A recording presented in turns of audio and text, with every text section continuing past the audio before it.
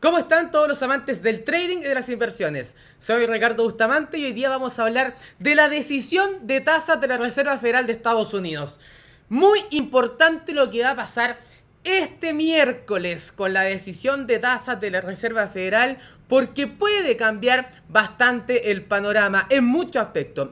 El más importante, ¿comenzará el proceso de retiro de estímulos? ¿Lo anunciarán? Vamos a ver cuáles son los argumentos para generar precisamente este retiro de estímulos, qué cosas tenemos que percatarnos precisamente en esta reunión de la Fed y por supuesto vamos a terminar con unas alternativas de trading muy interesantes gracias a lo que puede generar la Reserva Federal de Estados Unidos. Vamos inmediatamente a revisar lo siguiente. Esta es en la última encuesta, eh, o mejor dicho, más que encuesta, las proyecciones.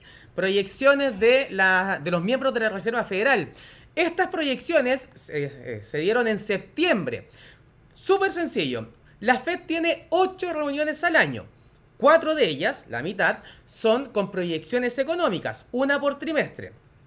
La del último trimestre de este año se va, a conocer en diciembre con proyecciones, pero en noviembre se va, a tomar la decisión sobre la tasa de interés, va a haber un comunicado y obviamente pueden tomar otras decisiones que pueden afectar, pero no va a haber, no van a haber estas proyecciones económicas. ¿Por qué la estoy mostrando? Porque quiero que nos demos cuenta en qué situación estamos hoy en día.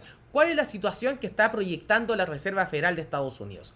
Primero, tenemos para este año 2021 que esperan un crecimiento económico del 5,9%. En junio esperaban un 7%. Por lo tanto, se disminuyó un poco esta expectativa de recuperación económica en términos de crecimiento. Donde viene la preocupación, y bastante, es en los datos inflacionarios. Se espera una inflación del 4,2% según las, eh, las, predicciones de septiembre, muy superior a las que tenían en junio del 3,4%. Y además la inflación subyacente que quita lo que sean eh, productos que tengan volatilidad eh, muy extrema en el precio, principalmente por alguna eh, época temporal. también se ve un impulso bastante fuerte, un 3,7% para este año en términos de proyección, frente al 3% que esperaban en junio. Los bancos centrales tienen que preocuparse de la inflación. Es, uno de sus principales mandatos, es mantener la inflación controlada. Y la Fed tiene un objetivo de 2%. Por lo tanto, estamos hablando de una inflación muy elevada para lo que son las proyecciones. Y además, la inflación hoy en día está mucho más elevada. Por lo tanto, es bastante probable que estas proyecciones sigan subiendo con respecto a la inflación que vamos a conocer en Estados Unidos. ¿Por qué esto es importante? Porque esta gran inflación y esta reactivación económica se ha dado principalmente por la cantidad de estímulos monetarios que está dando la Reserva Federal de Estados Unidos. Este es el balance de la Fed. Tenemos los activos y los pasivos, por supuesto, desde el año 2008 en adelante. Primer eh, apoyo monetario importante, fuerte, fue en la crisis subprime. Después vinieron otros apoyos a medida que tuvimos algunas crisis, por ejemplo, la crisis del euro, que eran coletazos precisamente de la crisis subprime y que dejó bastante inestable lo que es la economía europea y también al sector financiero, lo que generó que tuvo que haber mayor cantidad de eh, estímulos en el mundo. Pero acá ya fue mucho más fuerte el cambio. Vemos cómo tenemos un incremento gigantesco en los estímulos monetarios precisamente cuando comenzó la pandemia del coronavirus. Un apoyo que se está dando para las personas en Estados Unidos, para, los, para las compañías, para tratar de que esta crisis sanitaria que tuvo un impacto de crisis económica no tuviera un impacto tan severo. Y precisamente lo han logrado. La reactivación ha sido muy fuerte. El problema es que viene consigo una inflación que sigue subiendo debido a la cantidad de liquidez que está circulando y a otros problemas que han existido, como el precio de los combustibles y del petróleo muy elevados. También tenemos una situación en que mm, el costo marítimo ha incrementado y otras situaciones que han llevado a que la inflación siga subiendo. Si nos damos cuenta, esta cantidad de estímulos, esto no son los estímulos actuales, hoy en día son 120 mil millones de dólares eh, mensuales de estímulos que tiene la Reserva Federal. Para que nos hagamos una idea, es una cantidad de plata que es una locura. Acá lo que estamos viendo es el balance completo. Cuando comience a disminuir su, su estímulo monetario, cuando comience el retiro de estímulos, va a comenzar a bajar, por supuesto, este balance completo. Hoy en día hay hasta una situación de reactivación económica, de datos eh, bastante elevados eh, de, actividad económica, eh, pero también de una elevada inflación. Por lo tanto, sería muy sensato que la Fed pronto, muy pronto, ya comience a decir que va a retirar los estímulos. Muchos esperamos que sea precisamente este miércoles el anuncio. ¿Qué es lo que está esperando el mercado? Que el retiro de estímulos sea de aproximadamente 15 mil millones de dólares, ¿ok? Hoy en día el total son, es de 120 mil millones. Por lo tanto, con un retiro de 15 mil millones es lo que se está esperando de, toda la compra de activos que tiene para llevar a un nivel, eh, llevarla a cero para mediados del próximo año. Eso es lo que se está especulando. Por lo tanto, cualquier sorpresa que sea mayor o menor a esos 15 mil millones por supuesto que pueden girar un movimiento fuerte en el mercado. Se está especulando que ahora, en esta reunión, van a anunciar que van a recortar 15 mil millones. ¿Qué pasaría si eh, recortan 20 mil o 25 mil millones? Eso tendría un impacto que el mercado no estaría esperando porque tiene descontada otra situación actualmente. ¿Qué impacto generaría eso? Implicaría de que, por ejemplo, el retiro de, o más, que el retiro, la cantidad de dólares que, está entrando a circulación mensualmente va a ser menor, pero mucho menor al que se está especulando, que también iba a ser menor. Por lo tanto, eso apoyaría avances del dólar, por ejemplo, eh, también generando otros movimientos que vamos a realizar en breves minutos. Esto es lo primero que hay que percatarse. ¿Qué es lo que pasa con los estímulos que tiene hoy en día la Reserva Federal? Eso va a ser clave para este miércoles. Pero también otra cosa, algo muy interesante y que también les quiero mostrar con esto. Estos son donde se son, eh, básicamente las proyecciones de tasa de interés por parte de los miembros de la Fed. Voy a mover un poquito porque quiero mostrarles lo siguiente, a ver si se ve mejor. Acá está. Ya, esta es eh, cada uno de estos puntos que se llaman dot plots es eh, donde estima que va a estar la tasa de interés cada miembro de la Fed para el 2021 cuando finalice el 2022, 2023 y así sucesivamente. Para el 2022, para el 2022, el próximo año, con las eh, proyecciones de septiembre está extremadamente dividido. La mitad de los miembros que dieron estas proyecciones esperan que la tasa se mantenga y la mitad de los, de los otros miembros esperan que vaya a subir la tasa. Algunos en 25 puntos base, algunos un poco más agresivos. Pero lo que es cierto es que están esperando que efectivamente eh, mitad esperan que eh, se mantenga la tasa y la otra mitad que se genere un incremento de tasa. Esto es hasta septiembre, el 22 de septiembre se conocieron estas proyecciones de la Fed. ¿Por qué es tan importante? Porque si la Reserva Federal también anuncia que el próximo año comenzará un proceso de alza de tasas donde debiera por ejemplo, lo que sucedió después de la crisis subprime, varios años después, dijeron que en, ese año en específico iban a comenzar el proceso de alza de tasas.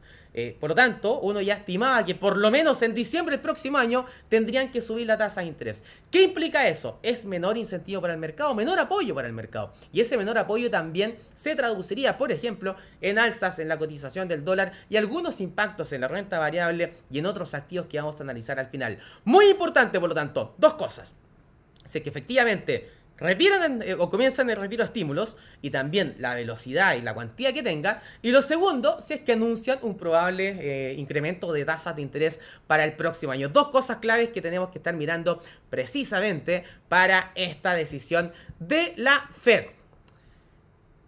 Antes de pasar a estas em, a, todo lo que son las alternativas que se puedan generar, los quiero dejar cordialmente invitados a que ingresen a www.capitaria.com y allí pueden aprovechar todos los movimientos que se están generando en el mercado. Y además, los dejo cordialmente invitados a que vayan a visitar nuestro blog, blog.capitaria.com, donde estamos subiendo mucho contenido, tenemos hartos informes eh, sobre cosas muy interesantes que se vienen de cara a fin de año, como el rally navideño, por ejemplo. ¿Sabías de él? Bueno, ingresa a blog.capitaria.com también las elecciones en Chile, ¿qué puede pasar? Todo eso y mucho más puede echar un vistazo en blog.capitaria.com. Vamos inmediatamente a hacer el análisis de los diversos activos.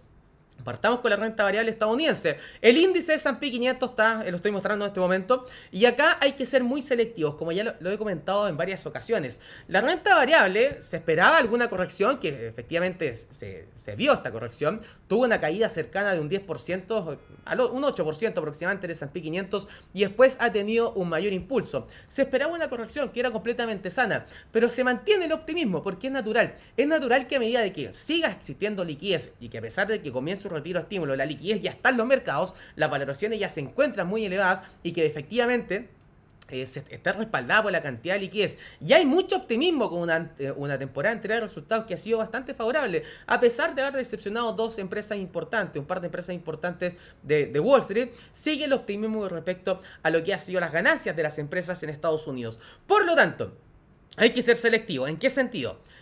Si es que vemos que la Fed comienza un retiro de estímulos agresivo y además anuncia que podrían subir la tasa de interés próximo año, más que la podrían, que van a comenzar la alza de tasa el próximo año, mucha atención con algunos tipos de activos, algunos tipos de acciones.